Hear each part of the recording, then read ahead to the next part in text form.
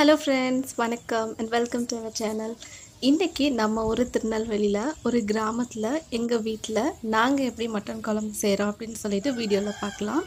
ஒவ்வொருத்தரும் ஒவ்வொரு விதமாக பண்ணுவாங்க. இங்கே எங்கள் வீட்டில் எங்கள் அத்தை மட்டன் குழம்பு ரொம்ப டேஸ்ட்டாக வைப்பாங்க. இவ்வளோ தான் நம்ம சிட்டியில் வந்து அது இதுன்னு போட்டு எந்த குழம்பு செஞ்சாலும் நம்ம கிராமத்தில் செய்கிற குழம்புக்கு ஈடாகவே செய்யாது. வாங்க எப்படி பண்ணுறதுன்னு பார்க்கலாம். இன்றைக்கி ஒரு அரை கிலோ அளவுக்கு மட்டன் எடுத்துருக்காங்க. இந்த மட்டனை வந்து நல்லா கழுவி சுத்தம் பண்ணி வச்சுக்கணும். இப்போ மசாலா அரைக்க ஆரம்பித்தாச்சு ஒரு பத்து அளவுக்கு பூண்டு ஒரு சின்ன துண்டு அளவுக்கு இஞ்சி. இதை நல்லா வந்து அரைச்சி எடுத்தாச்சு.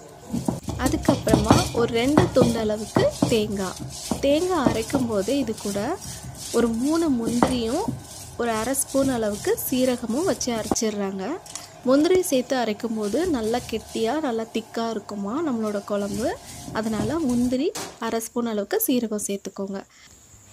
இப்போ வந்து தேங்காவையும் இஞ்சி பூண்டையும் அரைச்சி வச்சாச்சு. இதுக்கப்புறமா வந்து பார்த்திங்கன்னா இந்த மாதிரி அஞ்சு ரூபாய்க்கு வந்து பேக்கெட் இருக்கும் பார்த்திங்களா பிரியாணி மசாலான்னு சொல்லிட்டு. அதில் வந்து ஒரு பிரியாணி இலை அதுக்கப்புறமா கொஞ்சமாக அந்த கசகசா பெருஞ்சீரகம் அதுக்கப்புறமா வந்து அண்ணாச்சிப்பூ அன்னாச்சிப்பூ மராத்தி மொக்கு இதெல்லாம் இருக்கும் இல்லையா? கல்பாசி அதெல்லாம் வந்து சேர்த்து அரைச்சிக்கிறாங்க. அதில் அந்த மராத்தி மொ மொக்கு மட்டும் வைக்கல. மற்றதெல்லாம் இந்த மாதிரி நல்லா பேஸ்ட்டாக அரைச்சிக்கிட்டு இந்த மாதிரி ஒரு ஏழு எட்டு வெங்காயம் சின்ன வெங்காயத்தையும் இது கூட சேர்த்து அரைச்சிக்கிறாங்க. நல்லா மையாக அரைச்சி இந்த அளவுக்கு எடுத்து வச்சுக்கிறாங்க. இப்போ குக்கர் வச்சாச்சு. குக்கர் வச்சதுக்கப்புறமா கொஞ்சமாக கடுகு சேர்த்துட்டு பட்டை கிராம்பு பிரியாணி இலை ரெண்டு ஏலக்காய் இதெல்லாம் சேர்த்துட்டு ஒரு சின்ன வெங்காயம் தான் சேர்க்குறாங்க. நான் வந்து பார்த்திங்கன்னா செய்யும்போது பெரிய சைஸ் வெங்காயம் நல்ல பெரிய சைஸ் சேர்ப்பேன். இல்லைன்னா ரெண்டு வெங்காயம் சேர்ப்பேன். ஆனால் எங்கள் அத்தை வந்து பார்த்திங்கன்னா ஒரு சின்ன தக்காளி சின்ன வெங்காயம் இதுதான் சேர்த்தாங்க அரை கிலோ அளவுக்கு இது போதுமானதாக இருக்கும் அப்படின்னு சொல்லிட்டாங்க.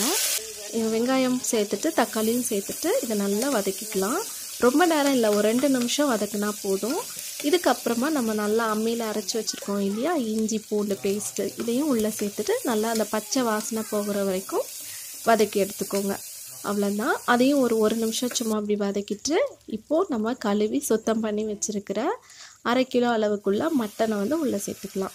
மட்டன் வந்து இங்கே கிராமங்களில் கிடைக்கிற மட்டன் வந்து பார்த்திங்கன்னா ரொம்ப சூப்பராக இருக்கும். வாயில் வச்சதுமே அப்படி ரொம்ப சாஃப்டாக இருக்கும் சாப்பிட்றதுக்கு. அதனாலேயே நாங்கள் வந்து ஊருக்கு வந்தால் கண்டிப்பாக மட்டன் சாப்பிடுவோம். அங்கே சிட்டியில் கிடைக்கிற மட்டன் வந்து இந்த அளவுக்கு டேஸ்ட்டு வர மாட்டேங்குது அது எதனாலன்னு எனக்கு தெரியல. இங்கே உள்ளது வந்து ரொம்ப டேஸ்ட்டாக இருக்கும். அதுக்கப்புறமா இப்போ இந்த மட்டனை வந்து உள்ளே சேர்த்துட்டு ஒரு அரை ஸ்பூன் அளவுக்கு மஞ்சள் பொடி சேர்த்துக்கிறாங்க.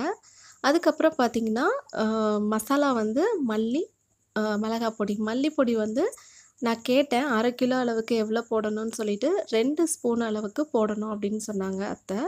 அதுக்கப்புறமா மிளகாய் பொடியும் இதுக்கு வந்து ரெண்டு ஸ்பூன் அளவுக்கு போடணும் நாங்கள் இவங்க வந்து ஸ்பூன் கலக்கிலலாம் போட மாட்டாங்க. அவங்களுக்கு வந்து அளவு தெரியும். அதனால் இந்த மாதிரி பேக்கெட்டில் இருந்தே போட்டுருவாங்க. அவ்வளோந்தான். இதையும் போட்டுட்டு இதை வந்து நல்லா கிண்டிக்கிடணும். இதுக்கப்புறமா பார்த்திங்கன்னா கொஞ்ச நேரம் இது நல்லா வேகட்டும். கொஞ்சமாக கல்லுப்பு சேர்த்துட்டு கொஞ்ச நேரம் ஒரு அஞ்சு நிமிஷம் அப்படியே வேக விட்டுறாங்க. அஞ்சு நிமிஷத்துக்கு அப்புறமா இது கூட எலுமிச்சம்பழத்தை வந்து நல்லா புழிஞ்சு விட்டுறாங்க. இது வந்து நல்லா டேஸ்ட் கொடுக்கும்னு சொன்னாங்க. அதுக்கப்புறம் வந்து பார்த்திங்கன்னா மறுபடியும் வந்து ஒரு அஞ்சு நிமிஷம் அப்படியே குக்கரை வந்து அப்படியே ஓப்பன்லேயே வச்சுட்டு இப்போ நம்ம அரைச்சி வச்சுருக்க தேங்காய் அதுக்கப்புறமா வந்து மசாலாலாம் சேர்த்துக்கலாம். நம்ம அந்த ஸ்பைசஸ்லாம் சேர்த்து அரைச்சி சின்ன வெங்காயம் சேர்த்து அரைச்சி வச்சுருக்க பேஸ்ட் ஒன்று அப்புறம் தேங்காயோட விழுது. இதையும் உள்ளே சேர்த்துட்டு நம்மளுக்கு வந்து எந்த அளவுக்கு நம்மளோட குழம்பு இருக்கணுமோ அந்த அளவுக்கு தண்ணி சேர்த்துக்கிட்டாங்க. அந்த அளவுக்கு தண்ணி சேர்த்துட்டு இப்போ வந்து குக்கரை வந்து நம்ம மூடி வச்சிட வேண்டியதான் ஒரு பத்துலேருந்து பதினஞ்சு விசில் வரைக்கும் எடுத்துட்டு எடுத்து வச்சுக்கணும்.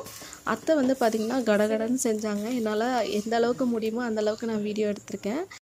ஒரு ஒரு மணி நேரத்துலையே மட்டனோட எலும்புகள்லாம் போட்டு இந்த மாதிரி மட்டன் குழம்பும் வச்சுட்டாங்க. இப்போ நம்ம செஞ்ச இந்த மட்டன் குழம்பையும் ரெடி பண்ணிட்டாங்க. சாதமும் ரெடி பண்ணிட்டாங்க. நான்லாம் இதை செய்யணுன்னா குறைஞ்சது வந்து ஒரு ரெண்டு மணி நேரமாவது ஆகும். அவ்வளோதான் ஒரு பதினஞ்சு விசில் விட்டு எடுத்தோடனே நம்மளுடைய மட்டன் குழம்பு கிராமத்து முறைப்படி ரொம்ப டேஸ்ட்டாக ரெடி ஆகிடுச்சு ரொம்ப சூப்பராக இருந்துச்சு. நாங்கள் சாப்பிட்டு பார்த்தோம். நல்லா இருந்துச்சு. நீங்களும் கண்டிப்பாக உங்களோட வீடுகளில் இந்த மாதிரி செஞ்சு பாருங்கள் எப்போவுமே மட்டன் குழம்பு வந்து அத்தை இந்த அளவுக்கு தான் வைப்பாங்க. இன்னும் கொஞ்சம் தண்ணியாக இருக்கணும்னு நீங்கள் விரும்புனீங்கன்னா இன்னும் கொஞ்சம் தண்ணி சேர்த்துக்கோங்க. சரியாக இருக்கும். என்னோடய சேனலை வந்து இன்னும் நீங்கள் சப்ஸ்கிரைப் பண்ணலன்னா மறக்காமல் சப்ஸ்கிரைப் பண்ணிக்கோங்க. பக்கத்தில் இருக்க பெல் பட்டனையும் கிளிக் பண்ணிக்கோங்க. அப்போ தான் அடுத்தடுத்து போடுற வீடியோஸ் வந்து நோட்டிஃபிகேஷனில் வரும். இவ்வளோ நேரம் இவ்வளோ பொறுமையாக இந்த வீடியோவை நீங்கள் பார்த்ததுக்கு நன்றி.